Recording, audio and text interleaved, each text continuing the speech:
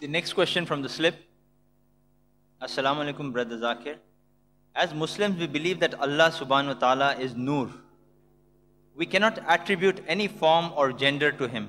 Why then, when we speak of Almighty God, or as written in the Holy Quran, Allah is always referred to as He? A sister. The sister asked a very good question, and this question had troubled me for several years. And she asked the question, Allah is Nur, He has got no gender. So why is it written as Hua, as He? And this question asked to various people, you know, in India and other scholars, but never got a satisfactory reply. Then I myself did a little research and then I checked it up with the experts.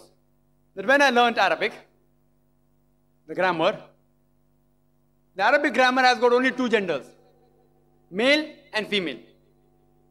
English language, three gender, male, female, neuter.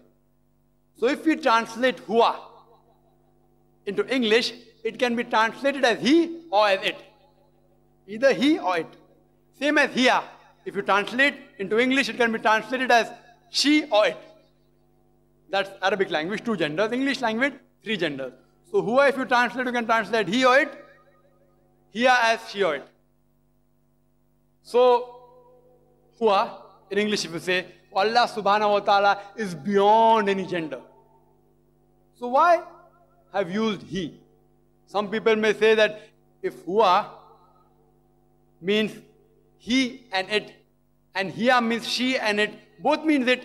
So why did Allah use huwa and not hiya? Because Quran says, Qul huwallahu ahad.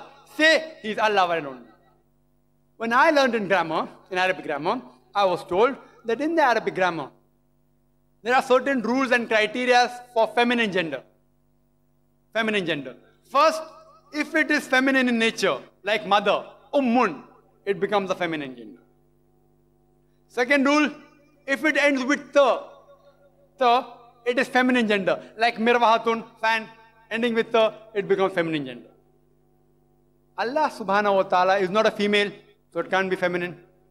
It is not ending with the, is it ending with the? No, so can't be feminine. Third is, it should end with bala alif, then becomes feminine.